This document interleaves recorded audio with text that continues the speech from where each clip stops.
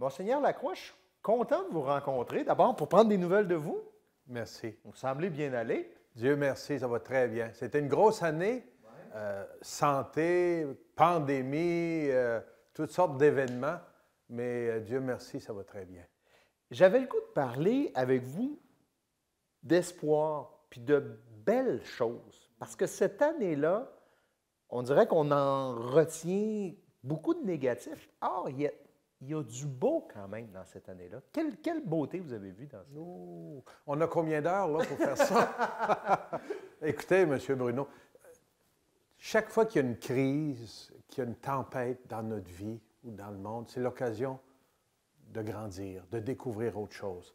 Et je pense avec un peu de recul, là, ça fait quand même 9-10 mois qu'on est là-dedans, là, on a pu voir qu'il y a eu des belles opportunités qui se sont présentées, puis on a vu des belles choses. La vague, je ne parle pas de la première ni de la deuxième, mais la vague de solidarité, de fraternité qu'on goûte, le partage, cette prise de conscience qu'on a besoin de mieux prendre soin les uns des autres. Des personnes âgées, bien sûr, et dans les résidences et tout, mais de nos proches. On était proches plus qu'on le pensait, plus qu'on était habitué. Dans nos petites bulles familiales, on était privés du reste du monde, mais on a vu qu'on avait des choses à ajuster, mais on a aussi découvert des belles choses, des rapprochements, des réconciliations. J'entends beaucoup de ça. Et puis je pense aussi, vous parlez d'espoir, le temps qu'on vit pour nous préparer à Noël, que nous, les chrétiens, on appelle l'Avent, hein, euh, c'était un temps cette année de grande espérance. La parole de Dieu nous a invités à ça, mais aussi euh, ça nous a invités à revenir à l'essentiel de ce qu'est Noël. On a perdu beaucoup de flafla et de belles choses. On n'a plus de party, ni au bureau, ni socialement. Les grandes réunions de famille, on danse plus jusqu'aux petites heures de la nuit avec tout le monde. Euh, on est revenu à un Noël peut-être plus simple. Peut-être qui ressemble davantage au premier Noël. Est-ce que le rapprochement euh, des familles, les réconciliations dont vous me parliez, est-ce que ça peut aussi se traduire par un rapprochement vers l'Église, même si les églises sont vides, parce que vous respectez les normes? Oui. Actuellement, puisqu'on est en zone rouge à Québec, c'est 25 personnes. Alors ici à la basilique, on peut en accueillir 800, 850, 25. Basilique Sainte-Anne, 1500 à peu près, 25 personnes. Mais on travaille avec ça. Mais j'entends beaucoup de gens qui me disent, curieux, hein, mais cette année, mon dos, que j'aurais le goût d'y aller, j'aurais le goût de participer à une messe de Noël. Même les dimanches, on aimerait ça revenir. Savez-vous ce qu'on a fait? Depuis le mois de septembre? On a intensifié les rencontres de petits groupes sur Zoom, Skype et toutes ces FaceTime. On fait des partages d'évangiles, des moments de partage, d'écoute les uns des autres, euh, un court temps de prière à partir de la parole de Dieu, des petites équipes, 8, 10 personnes. On en a des centaines dans le diocèse. Et ça, ça a permis aux gens de vivre un moment de fraternité, d'expression de leur foi, de ressourcement. On n'est plus seul. On peut peut-être pas toujours aller à l'église, mais on a ça. Et les premiers chrétiens, c'est comme ça que ça a commencé. Avant d'avoir des belles grandes églises, ça a commencé dans les maisons. Là, on le fait virtuellement, mais bientôt, on pourra, quand ça sera permis, on pourra continuer dans nos maisons, un soir chez un, l'autre semaine chez un autre. Ça ne nous empêchera pas de retourner à l'Église, mais en attendant, là, on n'est pas seul. Et notre foi, on la vit autrement. Et ça, je trouve ça beau. Ça, c'est un cadeau de la COVID. Euh, je, vous sais très technologique. Est-ce que l'Église s'est renouvelée grâce à cette crise-là? Je, sais que vous êtes très à l'aise avec les plateformes, les Zoom, les FaceTime et tout ça. C'est pas tout le monde l'Église qui l'est. Est-ce que cette crise-là a permis à l'Église de se renouveler? On est dans, le domaine de la communication, nous, depuis 2000 ans. Jésus est venu annoncer une bonne nouvelle, puis on est là-dedans. Et je pense qu'on était déjà un peu intéressés, puis on travaillait avec hein, la web télé, les sites Internet, les réseaux sociaux. Mais je dirais que la COVID nous a, mis, nous a comme injecté encore plus l'urgence et le besoin de, de, travailler davantage avec tout ça pour rejoindre les gens qui, qui, qui ne viennent plus ou qu'on ne voit plus. Ils sont là, ils ont besoin, ils ont besoin de nous. On a besoin d'entretenir le Vous lien. attendez peut-être même. Oui, oui, sûrement. Ça nous a obligés à nous dépasser. Et ça, c'est excellent. Écoutez, on a fait des célébrations sur Internet comme on n'a jamais fait. Ce n'est pas, pas l'idéal. Comme nos rencontres de famille. Hein. Moi, chaque semaine, j'ai une rencontre avec ma famille, mes parents, mes frères et sœurs. On prend une heure ensemble chaque semaine. On ne faisait pas ça avant. On a hâte de se revoir et se serrer d'un bras, mais en attendant, il y a ça. C'est la même chose pour nos activités d'église de foi on se voit, on a des partages, on a de la formation, il y a des temps d'écoute individuels ou en groupe, euh, des rencontres de famille. Tout ça nous sert. Pour Noël, euh, nous allons mettre ici à, la cathédrale une des messes sur, Facebook en direct. Euh, je vais mettre sur cdq.tv une messe que je préside au Centre de santé mentale, qui est l'ancien Robert Giffard, Saint-Michel-Archange, spécialement, une messe spécialement pour les personnes qui, vivent dans des CHSLD, les hôpitaux, les résidences, les proches aidants, leurs familles, le personnel soignant, le personnel administratif dans tous ces milieux-là. À 7 heures le soir, le 24, ça va être sur ecdq.tv, une messe là, dans, dans cet endroit-là, mais pour tout le monde qui travaille dans ce milieu-là. On n'aurait pas fait ça avant. C'est une nouveauté. Ça va rejoindre des gens qu'on ne pourrait pas rejoindre autrement. Alors ça, on a une poussée dans le dos pour faire ça, puis ça, c'est une de, nombreuses euh, initiatives heureuses. La messe de minuit, elle sera différente cette année. C'est dans chacune des paroisses, on, va avoir, bon, il faut réserver euh, pour ce, à 25 personnes.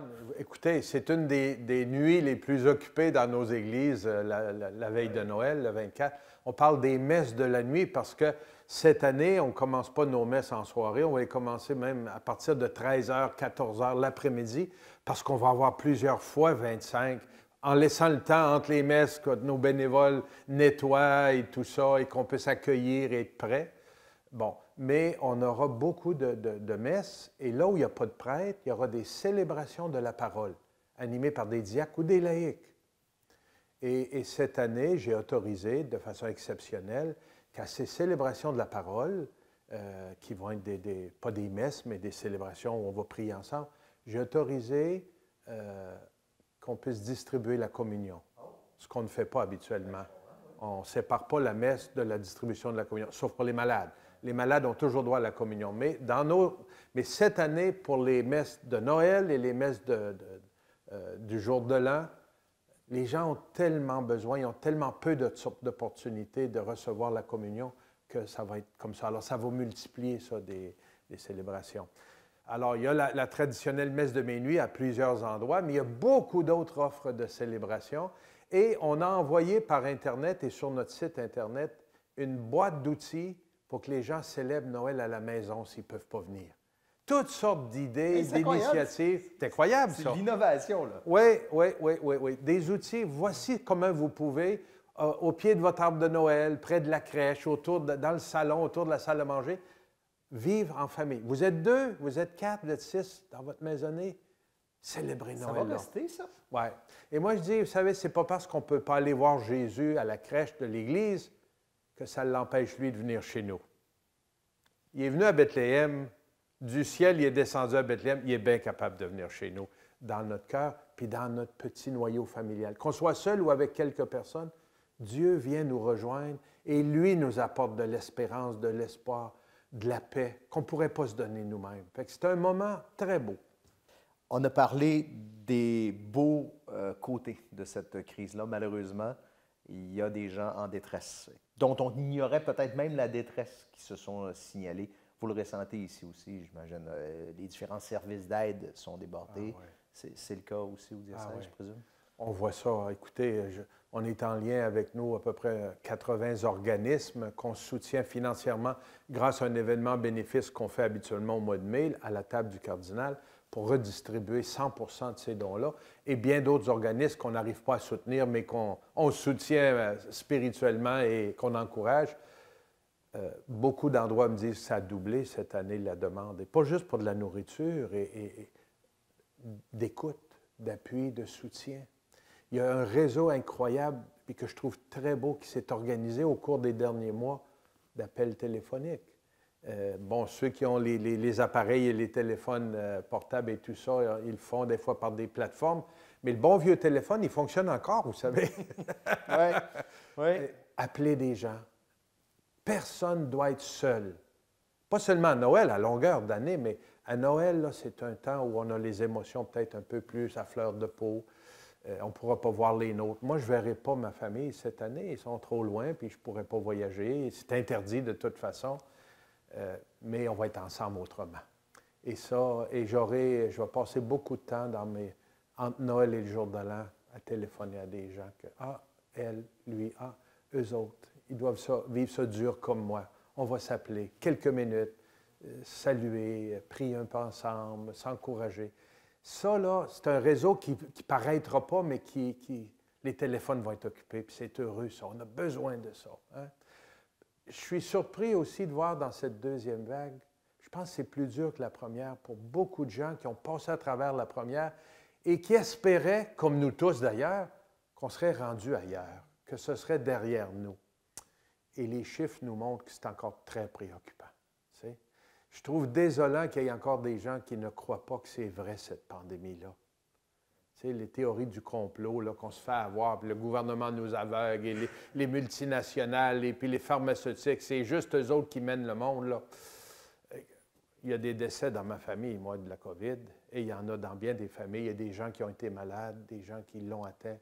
Euh, c'est pas une farce, là. Et on doit être prudent. Cette fois-là, dans cette vague-là, j'ai l'impression que vu qu'il y en a plus, on, on, vient quelque part à tous connaître quelqu'un, soit qui l'a eu, qui en est décédé ou qui en a été euh, très malade. Euh, quand j'étais tout petit, euh, je me souviens, ma mère me donnait une médaille que je mettais dans ma poche de hockey. Elle disait C'est ton ange gardien qui va que. Avec la COVID, on s'est aperçu que les anges gardiens n'étaient pas sur des médailles, ils sont dans les hôpitaux. Sont, J'aimerais vous entendre là-dessus, sur ces, sur ces gens-là qu'on a associés, qu'on a spontanément nommés nos anges gardiens on, savait qu'ils étaient là, mais on n'en tenait pas assez compte. Là, c'est comme si on a vu comment toutes ces personnes qui sont au service des autres, que ce soit euh, les gens au niveau de la santé, tout le personnel administratif, qui ne sont pas des infirmières, des infirmiers, des médecins, des chirurgiens et puis des préposés, mais qui, travaillent dans ces milieux-là pour organiser, accompagner, soutenir. Tout ce monde-là, -là, c'est incroyable. Les gens qui sont en service public, Avez-vous une idée combien, moi je n'ai pas d'idée, mais je m'imagine combien d'heures nos autorités du gouvernement et de la santé publique mettent pour réfléchir, regarder les chiffres et, de prendre, discerner, prendre des décisions? On ne peut être d'accord ou pas d'accord, on ne peut pas ne pas apprécier le service qu'ils rendent à la société. Moi, c'est chapeau bas, hein. c'est vraiment exceptionnel ce que ces gens-là font. Et indépendamment qu'on soit euh, d'accord ou pas d'accord, ils cherchent à offrir ce qu'il y a de mieux pour protéger cette population du Québec et moi, je, suis très reconnaissant pour ça. La veille de Noël, le 24 au soir, il y a une initiative qui sera prise conjointement entre la ville et les églises, les différentes communautés de foi. On veut faire le 24 au soir, pendant la grande soirée de Noël, un tintamarre de solidarité pour dire à toutes ces personnes-là qui sont en service, on sait que vous êtes là, pour on apprécie. Il y en a plusieurs d'entre vous qui travaillez à Noël, puis au jour de l'an, puis au temps des fêtes, parce que vous devez être là pour accompagner les malades, les mourants, les personnes dans le besoin, les personnes souffrantes. Et on va sortir, euh, nous, on va sonner toutes les cloches de toutes les églises en même heure dans la soirée du 24.